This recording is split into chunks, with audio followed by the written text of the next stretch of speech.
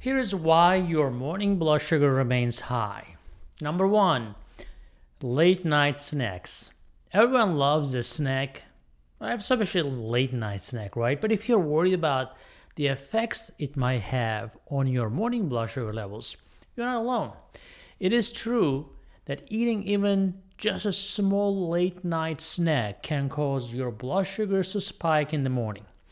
That is because when we eat late at night, especially high carb snacks like crackers and candy, our bodies cannot burn off all of the energy from those foods by the time you wake up, right? This leads to extra glucose staying in our system overnight and makes your morning readings higher than usual. If this is happening to you, try avoiding those late night snacks and see if it helps your morning readings. Number two, look up exercise. So if you are waking up every morning to a high blood sugar, then it might be due to the fact that you are not getting enough exercise. Not working out regularly can cause your blood sugar levels to really go up, and that means it's time for a wake up call, right? Exercise doesn't have to feel like a chore either.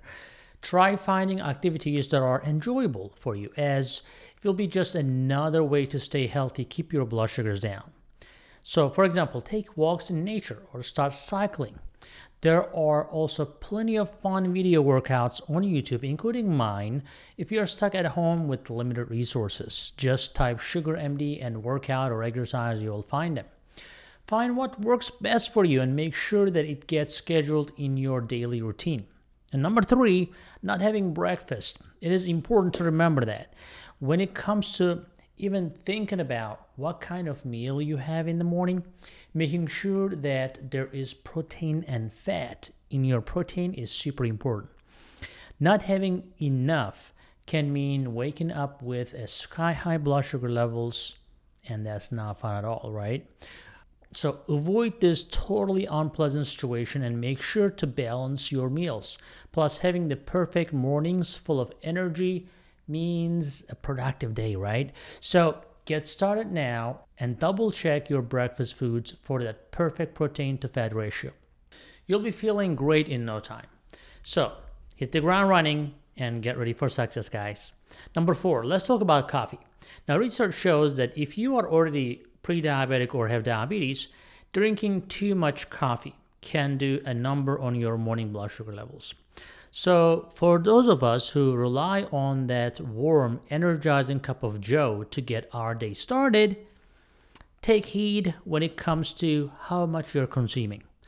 Moderation is key, right? Grab an extra glass of water instead of the coffee and let the natural power of hydration work its magic in getting your body ready for the day. Well, number five, having low blood sugar before 3 a.m. and not knowing it. If you have already started to manage your diabetes, one of the most important things you need to watch out for is having low blood sugar levels before 3 a.m. in the morning. It happens a lot.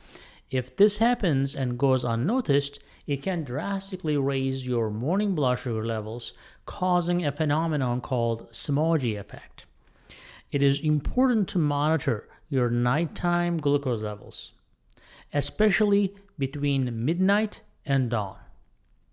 A quick check at nighttime could potentially help lower your morning blood sugar readings, ensuring that you have much smoother start to your day.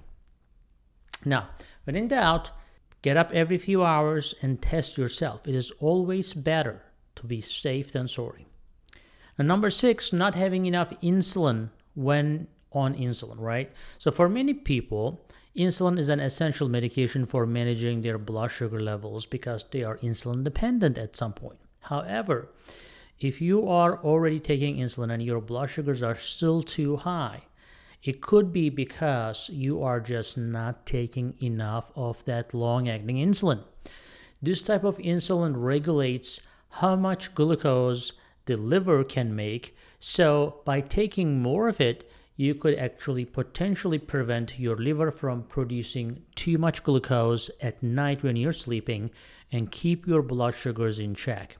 But of course, everybody's needs are different when it comes to managing diabetes, how much insulin they need, etc. So you need to make sure you talk to your endocrinologist before making those adjustments. Unless you're extremely careful and you know what you're doing uh, based on previous experience. Number seven, eating late and having heavy dinners. Now, late and heavy dinners have been linked to higher blood sugar levels in the morning. This is because when we eat late, our bodies do not have enough time to break down the food before we go to bed. So, when we then wake up, the food is still in our system. You're probably feel it in your burp, ugh, disgusting, right? And causes elevated blood sugar levels. Now, fortunately, there are ways to decrease these high morning blood sugar levels, such as eating earlier during the day or avoiding large portions at night. Number eight, not getting a good night's sleep can seriously mess with your body and has some damaging side effects you may not even know about.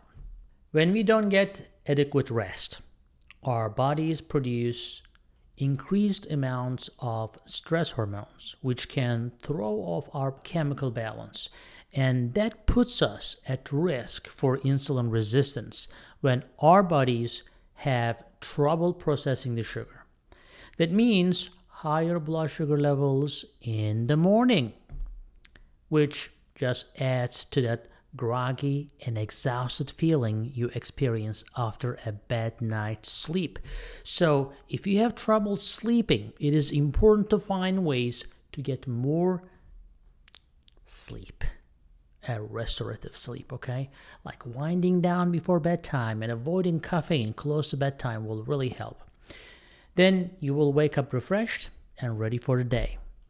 Now, let us know what is causing your high blood sugar levels in the morning. Remember to subscribe and share on this video and have a happy and healthy day. See you next time.